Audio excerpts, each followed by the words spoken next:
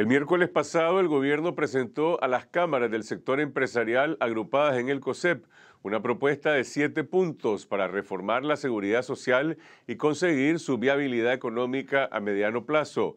Ismael López nos cuenta en qué consiste la propuesta oficial y cuáles son las reacciones que ha generado entre sindicalistas, pensionados, expertos en seguridad social y economistas independientes, quienes se preguntan si este proyecto es solamente un parche o acaso puede brindar una solución integral al problema de la seguridad social. El gobierno aportaría ese pago. El asesor económico de la presidencia, Bayardo Arce, presentó a la cúpula del Consejo Superior de la empresa privada siete medidas que de aprobarse le darían un respiro económico a la seguridad social por los próximos 23 años. Estamos planteándonos también que el sector patronal eh, incremente eh, su contribución en un 3% de forma que lo haga 1% anual, uno en el 14, uno en el 15, uno en el 16. Con todas esas medidas nosotros pensamos eh, que el INS puede proyectar su vida sostenible eh, al menos al año 2036. Eso significa generación y media. Ya vendrán los que nazcan hoy y que entonces tengan 22 años ¿ve? con nuevas experiencias, con nueva sabiduría, a aportar otros periodos.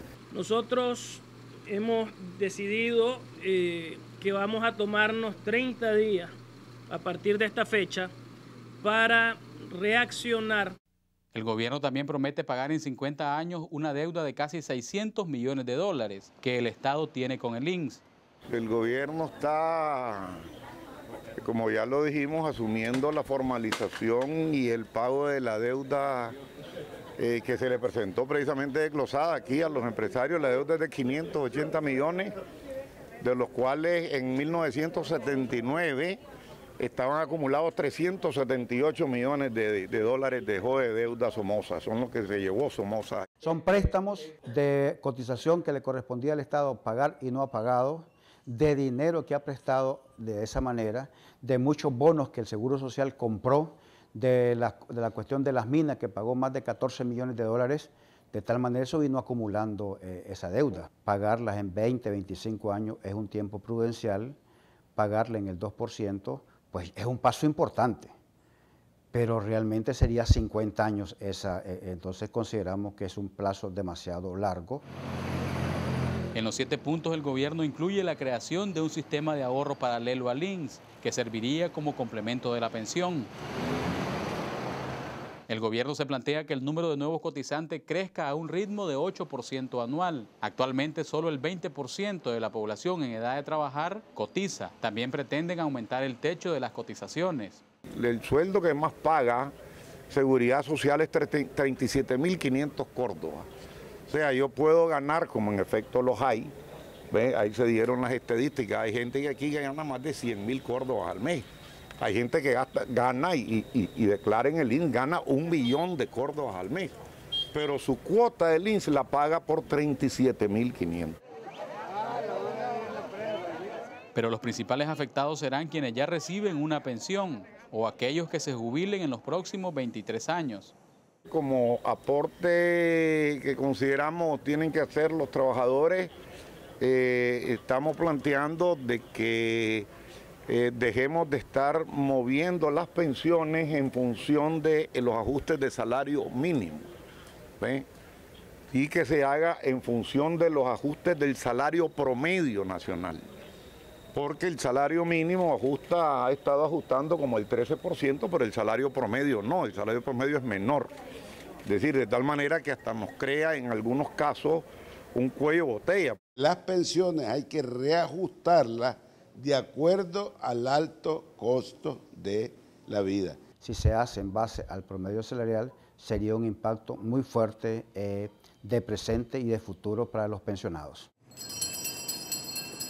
El promedio salarial crece a un ritmo de 6% anual. Los pensionados reciben un ajuste cada seis meses, cuando se incrementa el salario mínimo del sector industrial. Actualmente es de 3.400 córdobas. Las pensiones ya no se van a ajustar conforme al salario mínimo, sino al salario promedio. Es decir, el ajuste de las pensiones va a ir siendo menor, van a recibir menos.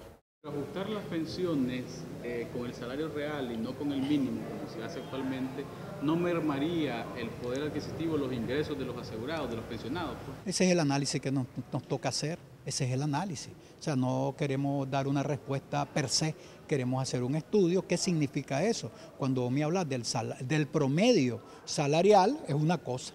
Cuando vos me hablas del promedio del salario mínimo es otra cosa. El planteamiento que ha hecho el INSE es que no está en capacidad de poder seguir asumiendo estos niveles de incremento en las pensiones. Eh, recordemos que Nicaragua ha venido creciendo en los últimos seis años el salario mínimo 135%. Esto ha provocado que los niveles de, pensión, eh, que la presión que ha tenido el INS debido a estos incrementos no está siendo en este momento ya más sostenible. Según datos de la Seguridad Social, 9 de cada 10 de los 110 mil pensionados reciben el pago mínimo. Es decir, casi 100 mil nicaragüenses mermarían sus ingresos. Deben ser datos de la base de datos del INS. El economista Adolfo Acevedo valora los pros y los contras de la propuesta oficial. La medida fundamental ahí es el aumento de la tasa de cotización. Las demás en gran parte son simbólicas. Si vos las comparas con las medidas que se estaban planteando antes, son medidas relativamente menores. Entonces eso le permitiría al INS, digamos, asegurar el equilibrio financiero por los próximos 24 años. El problema verdaderamente grave es después, cuando el proceso de envejecimiento de la población va a comenzar a adquirir velocidad de crucero. Este paso es importante y lo debemos ver de manera positiva como una salida para que el INS no colapse. El gobierno argumenta que no se necesita una reforma a la ley para darle respiro al INS. Esto significaría que el INS con estas medidas se estaría cubriendo hasta el año 2036. Esto es si no sucede nada extraordinario en la economía. Esto es si se mantienen los niveles de crecimiento de generación de empleo formal a un ritmo de 8% cada año y un ritmo de 7% de nuevos pensionados año con año. A mí lo que me preocupa es que ni siquiera se quiere discutir el esfuerzo que hay que hacer, ni siquiera se quiere discutir la magnitud del desafío que tenemos enfrente, sino que se prefiere hacer agarrar la, fase fácil y sencillamente decir, allá le dejamos el clavo a los que vengan 24 años después. Eso me parece tota-, una total irresponsabilidad. El gobierno no incluyó en su propuesta temas cruciales para el ordenamiento de la seguridad social, por ejemplo, las inversiones del INS y los gastos administrativos. La institución requiere pasar de un 11% a un 6% en el afán de que esos 1.300, 1.400 millones que se gasten anual lleguemos a la cantidad no mayor de 600 millones. El otro aspecto y fundamental son las inversiones. Fortalecer jurídicamente cómo se debe invertir, dónde se debe invertir, qué criterios se invierten, es fundamental para que los intereses que puedan generar esas inversiones sean potentes, tan potentes que puedan superar la tasa de cotización. Las autoridades del INS tampoco han informado sobre todos los recursos de la institución se hace necesario que la reserva técnica del IN se indique en tres aspectos. De esos 15 mil millones de córdobas que se tienen, ¿cuánto corresponden a reserva técnica de pensiones de invalidez, vejez y muerte? ¿Cuánto corresponde a capitales constitutivos de los riesgos profesionales? ¿Y cuánto corresponde al seguro de víctimas de guerra? El director del INS, Roberto López, participó en la reunión con los empresarios, pero no quiso responder a nuestras preguntas. pero, mire, pero ¿por qué, ingeniero? ¿No le toca hablar a usted como director del INS? ¿Ah? ¿Cuál es la propuesta concreta para, rescatar el, el seguro? ¿Van a reducir los gastos administrativos del seguro? El Seguro Social tiene efectivo actualmente por los 15 mil millones de córdobas y gasta casi 7 mil millones de córdobas al año en pensiones, empresas médicas previsionales y subsidios. Los ingresos y los egresos ahorita andan un poco equilibrados, efectivamente. ¿verdad? Por lo esto de la pensión reducida, podríamos decir que si recibe 100 Córdoba, eh, casi 100 Córdobas se están gastando. Efectivamente, ahorita hay una fatiga financiera del Seguro Social porque indudablemente impactó eh, económicamente el pago de las pensiones reducidas.